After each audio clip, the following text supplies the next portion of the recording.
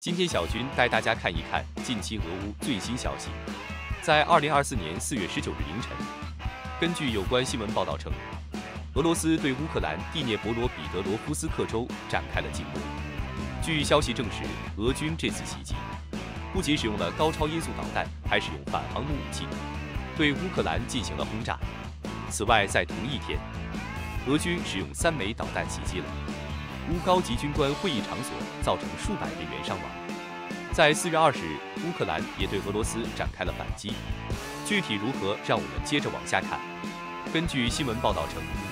俄罗斯在四月十九日凌晨对乌克兰第聂伯罗彼得罗夫斯克州发动突然打击。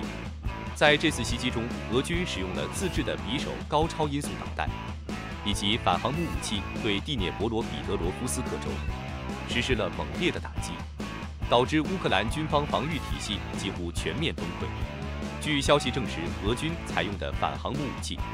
是了苏联时期制造的 Kh-22 反舰导弹，并由图22立方米一火超音速轰炸机携带。这次俄军袭击成功，主要有两方面因素，其实就是所使用的图22一火轰炸机。这款轰炸机是俄罗斯罗斯空军的主力反航母战机，拥有高速突防能力和远程打击能力。它还具备在极端条件下执行任务的能力，其性能非常优异。第二点就是所使用的导弹了。新闻中报道出两款导弹，一款是 Kh-22 反舰导弹，另一款是匕首高超音速导弹，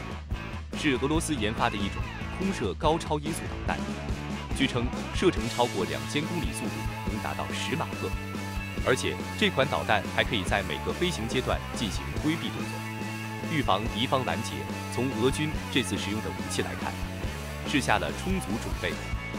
而这也让乌军造成严重损失。从这次袭击来看，也给乌克兰进行了警示，那就是自身的防空系统严重不足。虽然有西方国家的援助。但也不足以覆盖全部的战场，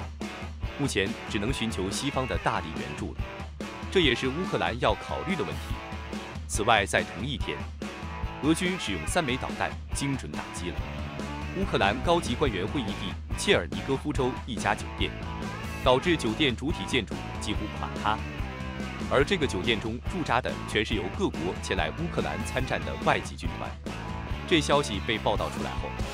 引起了广泛关注和争议。根据有关人士透露，这次的袭击代表这在战争环境下，即使在远离前线的安全地区，也难以保障足够的安全。对此，很多人表示不理解，因为俄军准确得知准确消息并实施打击的。有人猜测可能是俄罗斯进行了间谍侦查，但也有人猜测是因为乌克兰将外国军团驻扎在城市酒店等民用建筑物。导致了信息曝光，才遭到俄军导弹的针对。对此，并没有官方消息作出解答。乌克兰的反击，在四月二十日，亦有关消息透露，乌克兰使用几十架远程攻击无人机，对俄罗斯多个地区发动了攻击，其目标主要是炼油厂和能源设施。这次袭击也造成了至少三个分电厂和一个油库被击中，而这些设施大多是用于支持俄罗斯的军事工业生产。这给了俄罗斯军工业造成了巨大的影响，而俄罗斯国防部证实了连夜攻击，表示拦截了来袭的五十架无人机，而其中二十六架在别尔哥罗德边境地区被摧毁，十架无人机在布良斯克地区被拦截，两架无人机在图拉地区被拦截，八架无人机在库尔斯克地区被拦截，以及在莫斯科等四个地区分别各拦截一架无人机。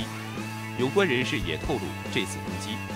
是对俄罗斯近期对于乌克兰袭击的反击和回应。他还表示，如今的乌克兰正在焦急地等待美国对乌克兰的援助，而美国已经在星期六通过了九百五十亿美元的安全援助法案。乌克兰总统泽连斯基星期六也对美国众院通过法案表示感谢，同时泽连斯基也呼吁北约成员加紧向弹药不足的乌克兰提供武器援助。用于应对俄罗斯的空中优势和地面攻击，同时也向西方再提供至少七套防空系统，用于乌克兰的防空。北约秘书长早些时候已经同意向乌克兰提供更多的武器，这其中就包括了防空武器。本期视频到这也就结束了，大家对此有什么看法？可以在评论区留言讨论。我们下期视频再见。